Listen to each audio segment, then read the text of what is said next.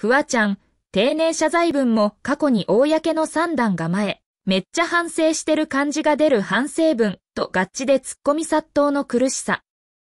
8月8日夜、お笑いタレントのフワちゃん、年齢非公表が X、旧ツイッターを更新。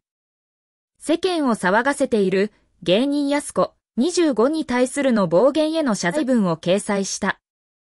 騒動の発端は8月4日、安子の安子オリンピック生きてるだけで偉いので皆優勝ですというポストを引用し、フワちゃんが不適切な投稿をしたことだった。フワちゃんは先日、安子さんに直接謝罪をさせていただきました。安子さんはもちろん、投稿を見た多くの方の心に傷をつけてしまったことを改めて謝罪させてください。本当に申し訳ありませんでした、と切り出し。本件の投稿は、私自身がしたものであり、アカウントを乗っ取られた、裏アカウントから載せようとしたものではありません。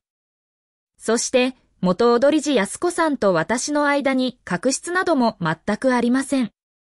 投稿当時、私はアンチコメントについて話していて、偶然目にした安子さんの投稿に、これにアンチコメントがつくなら、といった趣旨で、本件の投稿の内容を記載し、その場にいた方に表示した画面を見せたところ、操作を誤って実際に投稿してしまいました。と、暴言投稿の経緯を説明してから、改めて謝罪の言葉をこう続けている。低俗な行為で人の心を傷つける言葉を吐いてしまい、本当に申し訳ありませんでした。安子さんとは何度も共演しています。会う度様子を気にかけてくれて、嬉しい言葉をくれる優しい方です。謝罪の際もこちらの体調を気遣い、私側の誹謗中傷に対する心のケアのことまで心配してくれました。今回の件で、安子さんの心を深く傷つけてしまったことを深刻に自覚し、自分のしたことを心から反省します。安子さん、そして本件の投稿で悲しい思いをさせたすべての皆様、この度は本当に申し訳ありませんでした。と、自身の行為を深く反省していることを強調。最後に、ネット上の憶測でお名前が出てしまっている方々は、この件とは一切関係ありませんとし、投稿当時に共に旅行していたお笑いコンビ A マッソの加納35とお笑いトリオトンツカタンの森本慎太郎34は本件と関係がないと伝えた。フワちゃんは SNS 慣れしている芸能人ですから、ここで下手な嘘をついたらさらに取り返しのつかないことになることを分かっているはず。だから、暴言投稿時の状況を、その時一緒にいた人物、加納さんと森本さんの名前も出して説明したのでしょう。自らの軽率でひどい投稿で大騒動に発展していることも痛感しているのは、間違いなく本心から謝罪していると思われます。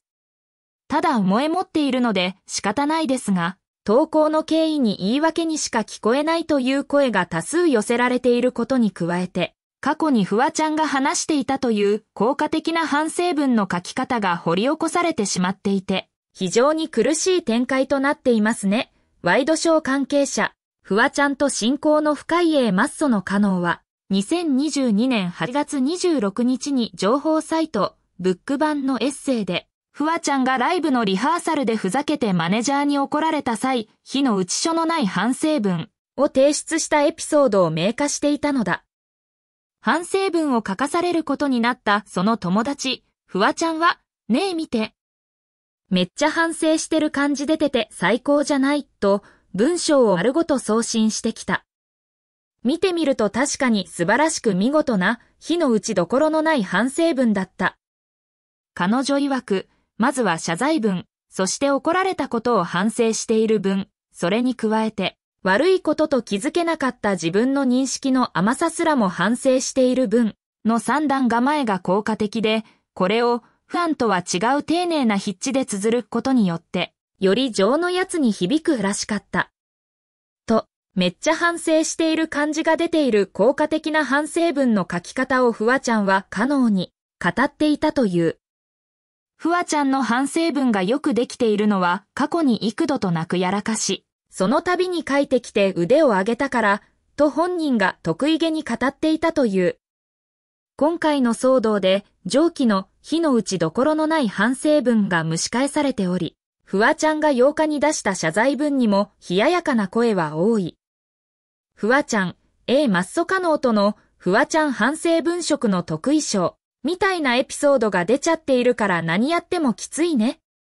謝っているんだからこれ以上責めるのもどうかと思うけどこのコメント、今後自分がどうやって活動していくかを書いた方が良かったんじゃないかな。じゃあ今回のも火の打ちどころのない反省文なんですね。確かに普段とは違う丁寧な筆致ですね。といった声が多く寄せられているのだ。